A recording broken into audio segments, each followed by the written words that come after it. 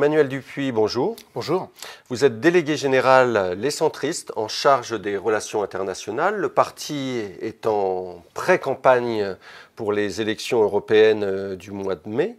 Regrettez-vous que les questions euh, internationales ne soient pas plus abordées ou abordées sous le prisme euh, de l'immigration et de la lutte le terrorisme Alors on le regrette, mais d'une certaine façon on essaye d'y remédier, puisque nous avons, dans le cadre de mon parti politique, avec un certain nombre d'autres partenaires, des think tanks notamment, réfléchi à ce que devrait être un programme en matière de politique étrangère, en matière de politique de sécurité, à l'occasion des élections européennes.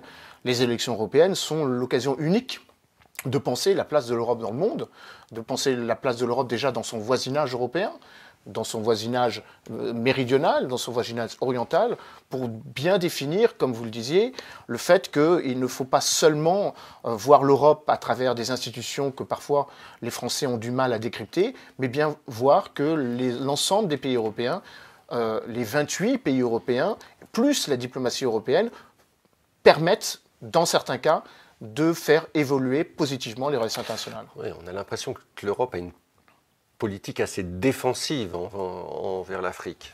Elle a une politique assez défensive, ou elle a surtout une politique qui se résume, parce qu'elle est mal présentée ou mal défendue, à travers la logique du carnet tchèque. L'Union européenne est un acteur déterminant dans l'aide publique au développement.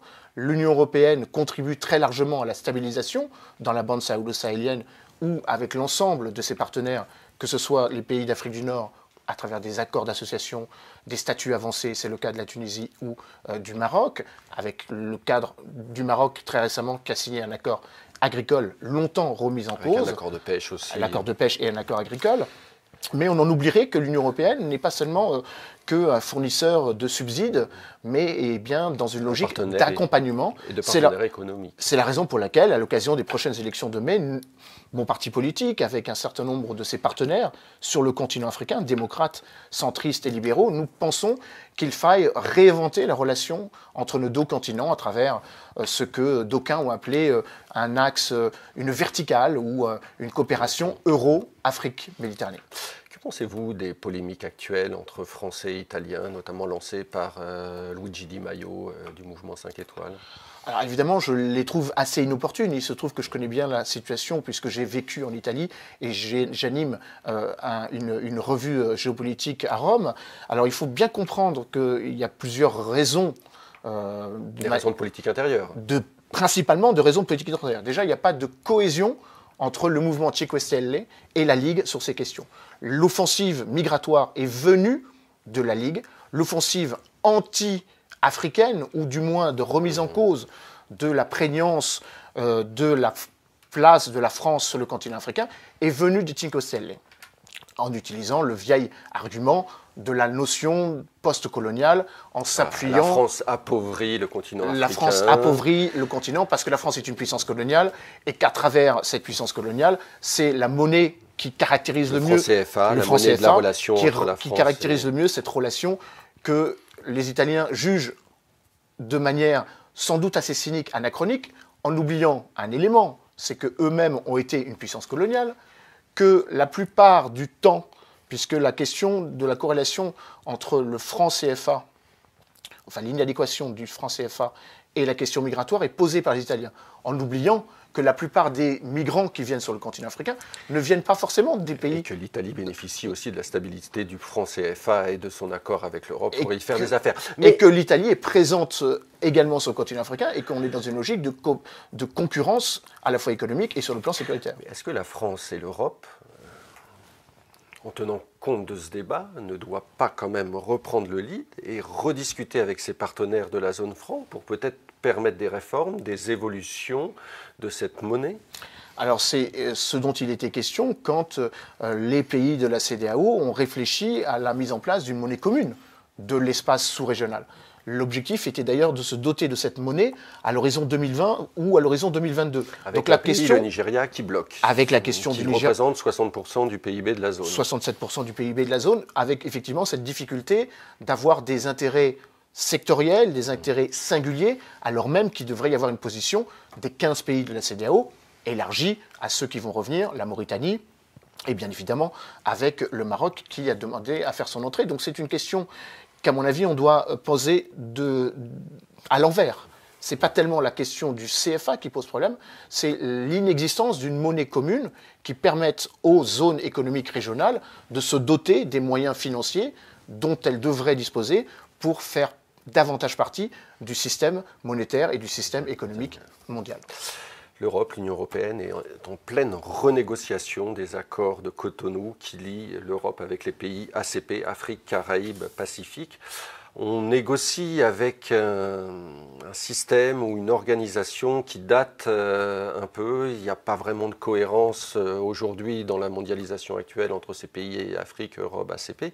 Que faut-il mettre dedans dans ces prochains accords qui vont réguler les, échanges, la coopération pour les 10-20 prochaines années et euh, avec qui négocier? Il y a plusieurs réponses à cette question. La première, nous ramène à la zone dont on parle. 79 pays, Afrique, Caraïbes, Pacifique. La première des renégociations, c'est qu'il y ait une position par continent. Parce qu'évidemment, les relations économiques entre les pays de la zone Pacifique ou de la zone Caraïbe et les 54 de l'Union européenne ne correspondent pas tout à fait aux mêmes réalités. Je ne prends juste euh, l'exemple de l'Afrique qui va connaître cette année une croissance en légère hausse, 3,5%, euh, de, points, de, de, de pourcentage, alors même que la croissance mondiale est en baisse. Donc on voit bien qu'il y a un intérêt à ce qu'il y ait une position unitaire africaine qui n'est pas forcément celle euh, des autres pays. Deuxième élément de réflexion, euh, c'est une relation qui englobe toute une série de thématiques qui sont liées à l'insuffisante présence de l'économie africaine dans l'économie mondiale. Seulement 4% de celle-ci, euh, et qui doit aussi correspondre à une meilleure interaction entre les cinq régions africaines et les huit communautés économiques régionales. Le principe même de la renégociation, vous avez raison de rappeler que les accords dits de Cotonou remontent à 1975 enfin la convention de Lomé, en 1975 et, la, convention de, de, Cotonou en 2000. Et que bien évidemment, à l'horizon 2000, 20 quand il va s'agir de les renégocier pour les 20, 30 ou 40 prochaines années, dans le cadre de l'objectif euh, du plan de développement durable de l'Union africaine en 2030 ou du plan prospectif 2063, il faut penser à ce que seront les économies africaines, davantage mues par une volonté de décloisonner leurs économies, donc avec une rupture ou la nécessité de rompre avec les barrières douanières qui empêchent les exportations africaines ou qui limite les importations africaines dont ces pays ont besoin pour certains en forte croissance, avec la mise en place et la nécessité de développer un secteur privé, avec notamment en particulier les partenariats publics-privés, et puis évidemment en tenant compte du fait que le continent africain, le continent africain pardon, euh, euh, a sans doute accéléré euh, durant les dernières années sur cette question en mettant en place une zone de libre-échange continentale africaine et en mettant en place des dispositifs qui font que les régions africaines sont maintenant de plus en plus configurées pour pouvoir négocier avec l'Union européenne. Une zone qui est en cours de ratification. Autre débat ou autre dossier qui manque d'impulsion politique, c'est celui de l'Union pour la Méditerranée, lancé sous Nicolas Sarkozy euh, à l'époque. Comment relancer cet espace euro-méditerranéen? Alors, vous avez raison de rappeler qu'on va fêter en juillet de cette année les 10 ans de l'Union pour la Méditerranée qui avait été signée le 13 juillet 2009 euh, sous effectivement l'autorité de Nicolas Sarkozy. Avec là aussi un contraste assez saisissant entre euh, la logique qui voulait qu'à l'époque on ne crée pas une union mais qu'on ait des projets qui justifient le fait que l'ensemble des 44 parties prenantes, États, organisations internationales, banques de développement, soient associés vers des projets pour créer davantage de fluidité en matière euh, commerciale, en matière d'éducation, en matière d'énergie, et tout simplement pour créer de l'interdépendance entre les deux.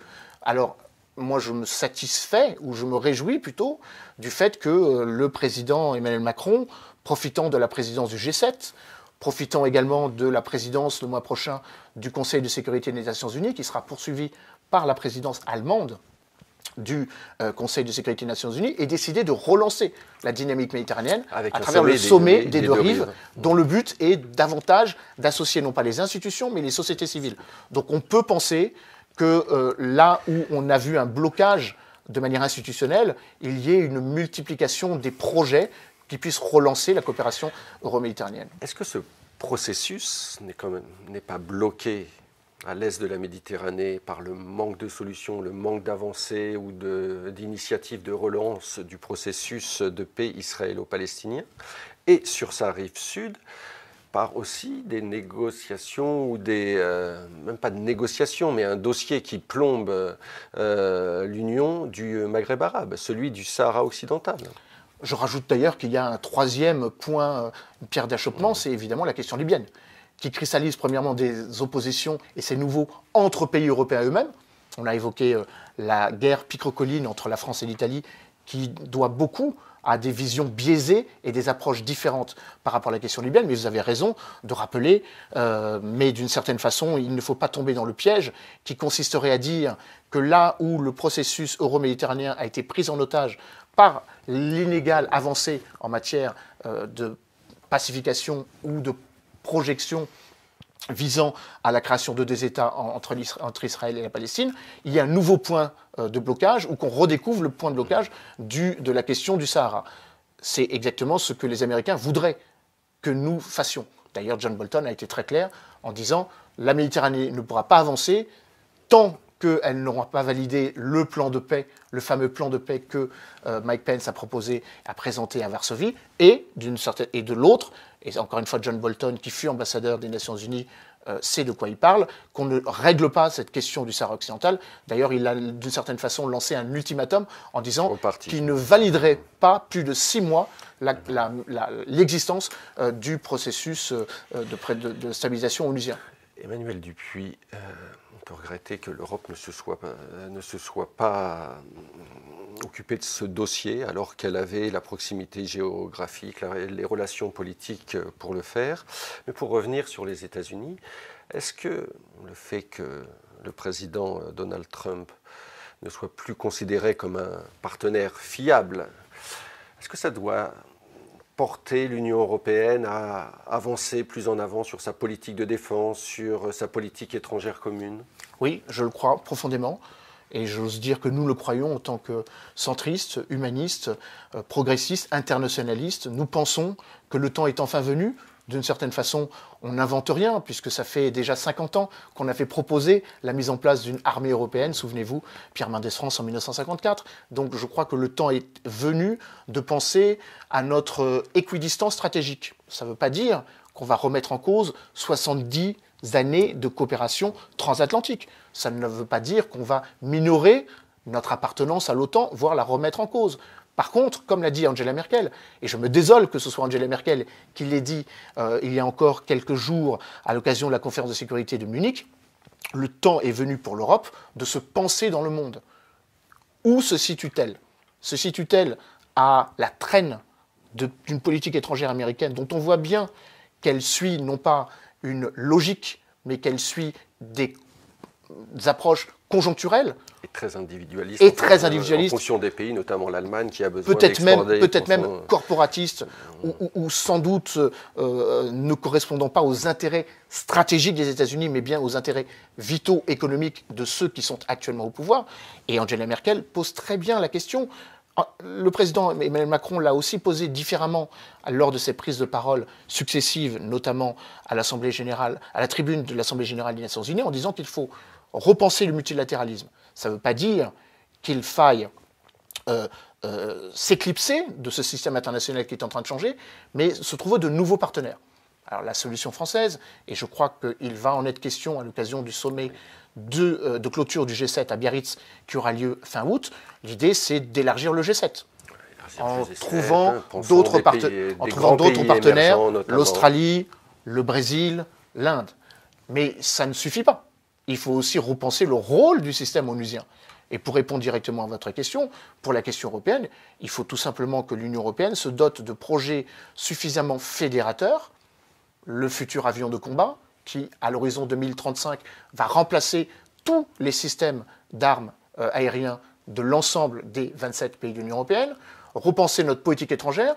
Ça ne suffit pas d'avoir des matériels pour se défendre, il faut aussi avoir la politique étrangère qui permet de mettre en avant notre capacité à résoudre des crises ou à prévenir des conflits.